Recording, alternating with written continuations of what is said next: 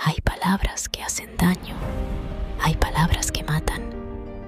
Lee conmigo esta sabia reflexión y no olvides suscribirte